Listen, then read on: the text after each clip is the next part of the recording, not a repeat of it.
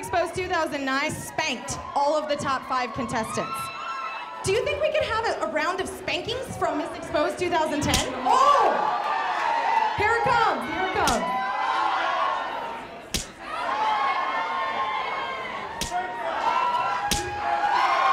Fourth runner up. Azuka.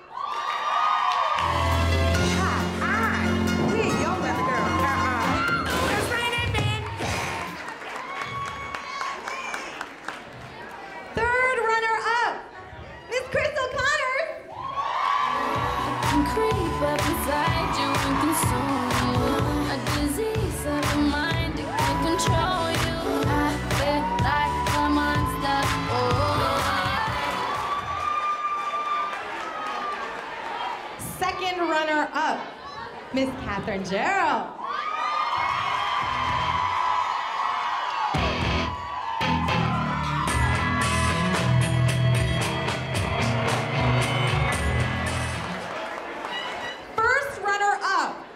Stephanie Turner.